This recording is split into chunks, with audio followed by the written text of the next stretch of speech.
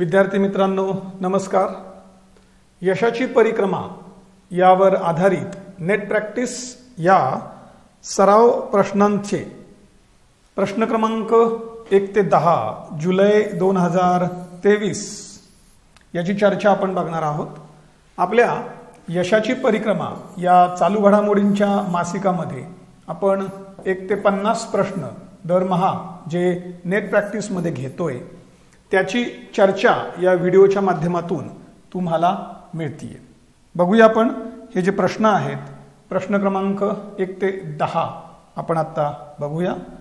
पहिला प्रश्न जो आहे तो आहे जयंत नारळीकर. आता हा व्यक्तीशी संबंधित असणारा प्रश्न आहे.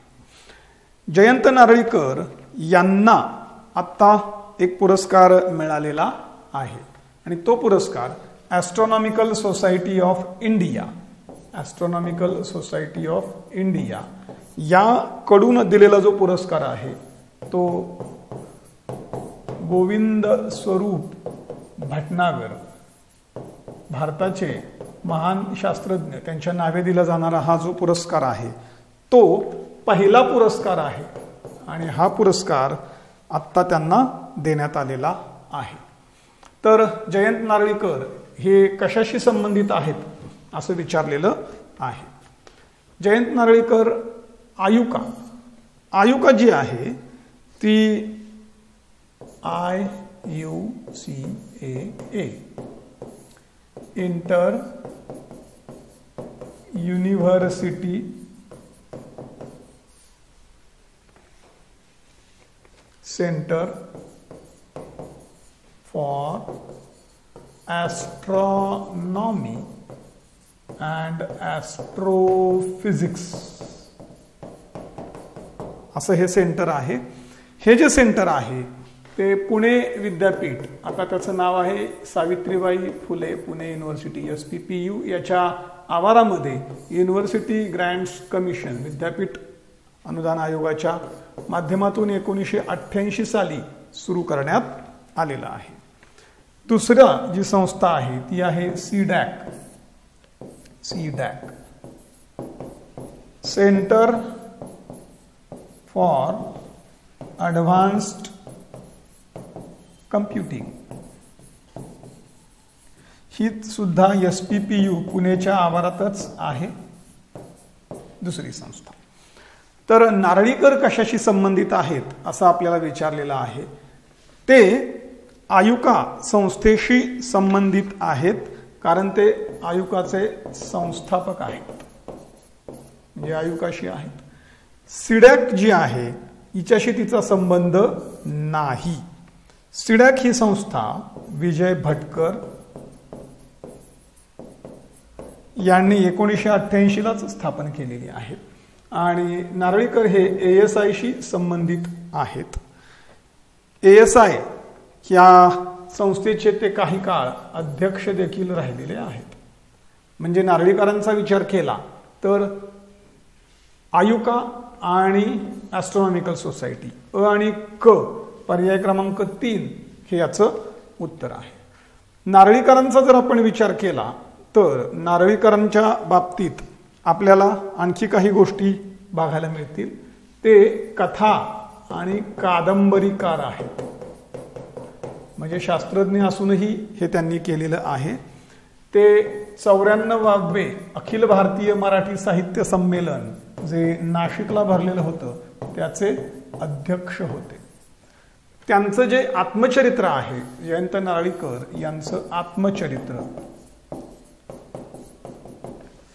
या आत्मचरित्राला त्यांनी दाव दिलेला आहे चार नगरांमधील चार नगरांमधील. माझे विश्व. आणि या त्यांच्या आत्मचरित्राला साहित्य अकादमीचा पुरस्कार देखील मिळालेला आहे. आता काय होतं मित्रांनो नारळीकरांना पुरस्कार मिळाला त्या निमित्ताने नाव चर्चेमध्ये आलं तर नारळीकरांवर आधारित आपल्याला कुठलंही स्टेटमेंट विचारलं जाऊ शकतं. म्हणून ही माहिती असणं आवश्यक. पण दुसरा प्रश्न बघूया आता. दुसरा प्रश्न आहे तो योग्य जोडी ओळखायची आहे. पुरस्कारांच्या बाबतीत. भारतामध्ये दिले जाणारे जे शौर्य पुरस्कार आहेत त्यांचे युद्धकालीन आणि शांतताकालीन असे दोन प्रकार करण्यात आलेले आहेत. आता याच्यामधला जो युद्धकालीन पुरस्कार आहेत हे युद्धकालीन पुरस्कार सव्वीस जानेवारी एकोणीसशे पन्नासला सुरू करण्यात आले. पण त्यांचा प्रभाव जो होता तो पंधरा ऑगस्ट एकोणीसशे सत्तेचाळीस पूर्वलक्षी प्रभाव मानण्यात आलेला होता. एकोणीसशे बावन्नमध्ये एकोणीसशे बावन्नमध्ये शांतताकालीन पुरस्कार सुरू केले आणि त्यांचं नाव होतं सम्राट अशोकावरून दिलेलं होतं नाव. अशोक चक्र क्रमांक एक अशोक चक्र क्रमांक दोन अशोक चक्र क्रमांक तीन. या क्रमांक एक दोन तीन यांची नावच पुढं अशोक चक्र क्रमांक दोन जे होतं त्याचं नाव दिलं कीर्ती चक्र. आणि क्रमांक तीन जे आहे त्याला नाव दिलं शौर्य चक्र. हे शांतताकालीन कामगिरीतले पुरस्कार आहे. युद्धकालीनमध्ये परमवीर महावीर आणि वीरचक्र हे बरोबर आहे. त्यानंतर शांतताकालीनमध्ये अशोक चक्र कीर्तीचक्र शौर्य चक्र हे देखील बरोबर आहे. अ आणि ब दोन्ही हे याचं उत्तर आहे. पर्याय क्रमांक. आपण पुढचा प्रश्न बघूया. प्रश्न क्रमांक तीन. गांधी सियासत और सांप्रदायिकता. हे जे लेखक आहे हे जे पुस्तक आहे ते महात्मा गांधी मोहनदास करमचंद गांधी यांच्या धर्म संप्रदाय याविषयीचे विचार आहेत हे हिंदी भाषेमधलं पुस्तक आहे. आणि हे जे पुस्तक आहे ते पियुष बाबले यांनी लिहिलेलं आहे. पर्याय क्रमांक एक हे याचं उत्तर आहे. चौथा प्रश्न आहे अंजली शर्मा. अंजली शर्मा या गिर्यारोहक आहेत. महिला गिर्यारोहक. आणि त्यांनी अलीकडं एक शिखर सर केलेलं आहे. गद्दी समुदायाचा गद्दी हा हिमाचल प्रदेश मधला समुदाय आहे. आणि लुआंचारी हा त्यांचा विशिष्ट पोशाख आहे. तो घालून त्यांनी कोणतं शिखर सर केलेलं आहे असं आपल्याला विचारलेलं आहे. याच्यामध्ये जी शिखरं दिलेली आहेत त्यातलं कांचनगंगा हे हिमालयामध्ये आहे. त्यानंतर माउंट किलीमंजारो हे टांझानियामधला हा ज्वालामुखी आहे. अकानकगुआ हे अर्जेंटिनामध्ये आहे आणि माउंट लोत्से हे तिबेटमध्ये असणारं शिखर आहे. सध्या चर्चेमध्ये असणाऱ्या ज्या अंजली शर्मा आहेत त्यांनी जे शिखर लुवांचारी पोशाख घालून सर केलेलं आहे ते आहे माउंट किलीमंजारो. हा जो ज्वालामुखीजन्य शिखर आहे ते त्यांनी सर केलेलं आहे. पाचवा मुकेश अंबानी हे क्रीडा विश्वातील कशाचे? मालक आहेत. मुकेश अंबानी हे आय पी एलच्या मुंबई इंडियन्सचे आहेत. मालक सर्वात श्रीमंत. आय पी एल ही क्रिकेटची जी इंडियन प्रीमियर लीग आहे ही जी लीग आहे या लीगचे जे वेगवेगळे मालक आहेत त्यामध्ये मुंबई इंडियन्स ही रिलायन्स समूहाकडं आहे. अंबानी त्यातल्या दुसऱ्या काही महत्त्वाच्या ज्या आहेत Rajasthan Royals R R J म्हटलं जातं ते मनोज बदले मनोज बदले यांच्याकडं आहे. Chennai Super Kings Chennai Super Kings N Srinivasan. N Srinivasan हे इंडिया सिमेंट्स या कंपनीशी संबंधित आहेत. Kolkata Knight Riders K N R.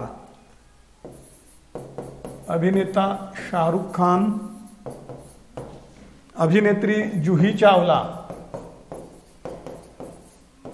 आणि जय मेहता एकत्र हे त्यांचे मालक आहेत. मुंबई इंडियन्स याची जी महिला टीम आहे म्हणजे महिला आय पी एल जी आहे तिचे मालक सुद्धा रिलायन्स आहे. रिलायन्सनी अजून काही मालकी घेतलेल्या आहेत. ही आपण बघितलं आता मुंबई इंडियन्स त्याची मालकी आहे. त्यानंतर महिला आय पी एल त्याची आहे. दक्षिण आफ्रिका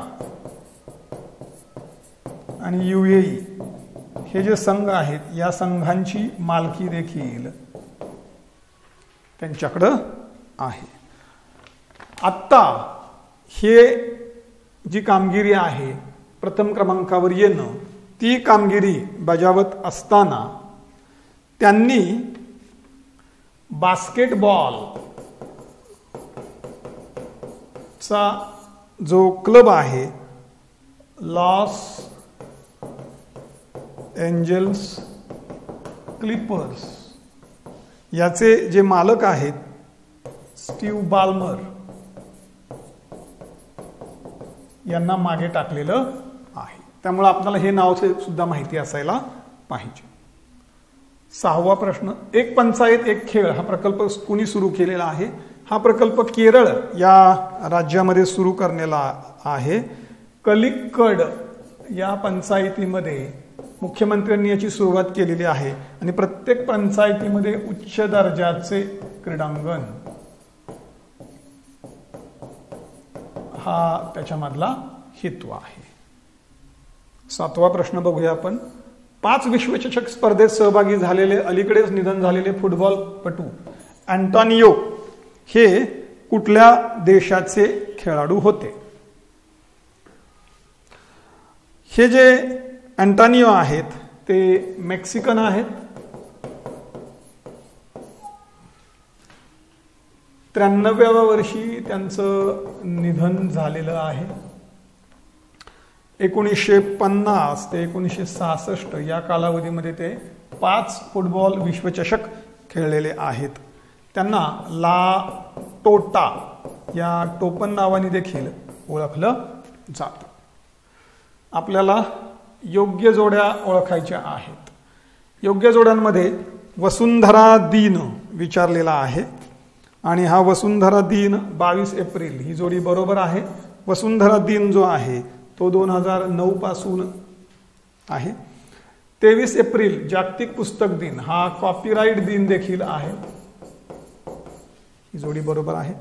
जागतिक दमा दिन जो आहे तो मात्र दोन मे या दिवशी असतो. त्यामुळे ही जोडी चुकलेली आहे. अ आणि ब बरोबर आहे पर्याय क्रमांक एक हे उत्तर आहे. नववा प्रश्न. जागतिक परिचारिका दिन याविषयी अचूक विधान निवडा. हा दिन फ्लोरेन्स लाइटेंजल यांची जयंती आहे हे बरोबर आहे आणि तो बारा मे या दिवशी साजरा केला जातो हेही बरोबर आहे. अ आणि ब दोन्ही बरोबर आहेत पर्याय क्रमांक तीन हे याचं उत्तर आहे. आता फ्लोरेन्स नायटेंजल ज्या आहेत लेडी विथ लॅम्प असंही त्यांना म्हटलं जातं. युद्ध काळात सैनिकांची शुश्रूषा त्यांनी केलेली आहे आणि त्यांच्या स्मरणार्थ हा दिन साजरा केला जातो. दहावा एम ई अहवाल बावीसनुसार याच्या मूल्यांकनात भारतातला कोणता व्याघ्र प्रकल्प प्रथम स्थानी आहे? M E E management effectiveness evaluation यातलं एम ई ई व्यवस्थापन प्रभावी कसं केलं जातं? म्हणजे प्रभावीपणा आणि त्याचं मूल्यमापन. या मूल्यमापनानुसार कोणता व्याघ्र प्रकल्प दोन हजार बावीसच्या अहवालामध्ये पहिल्या क्रमांकावर आहे? तो आहे केरळमधला पेरियार महाराष्ट्राचा जर विचार केला तर त्याच्यामधला पेंच आहे तो पहिल्या दहा मध्ये येतो. प्रश्न क्रमांक दहाचं उत्तर आहे पेरिया.